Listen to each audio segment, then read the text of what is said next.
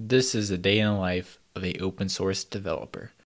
I wake up around 8 a.m. every day or whenever the sun starts to drift into my bedroom, as I don't like to use any proprietary technologies to wake myself up.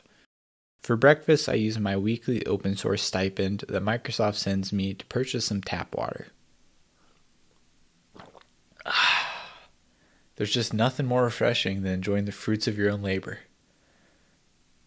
After logging into my computer, I go straight to my happy place GitHub. This is the one place in my life where I'm in control and I get to set the rules. Anyway, let's see how much damage the contributors did while I was gone. Looks like there's a couple new issues and pull requests I need to review.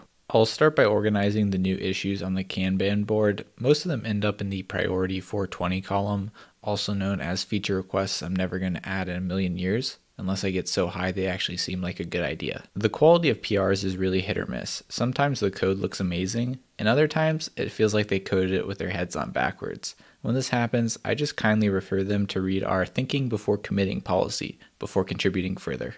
Now it's time to do a little coding myself. I'm currently working on a GitHub action that uses deep neural nets to analyze pull requests for code quality, and then close them automatically when they don't meet a certain threshold.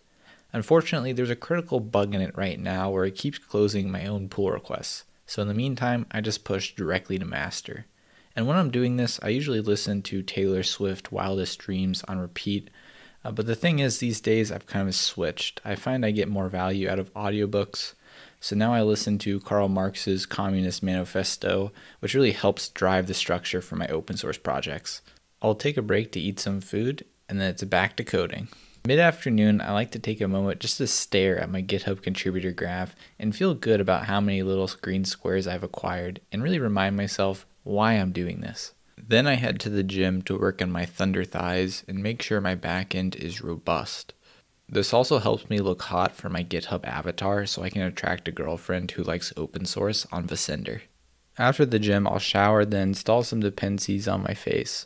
I use the Hydro Phoenix skincare stack I actually don't know anything about skincare, I just install the repos with the most stars. I'll eat some more food, then start coding again. I've noticed when people come to my GitHub repos, if they don't see a commit every 30 minutes, they assume the project has been abandoned. So I like to push a commit every 27 minutes.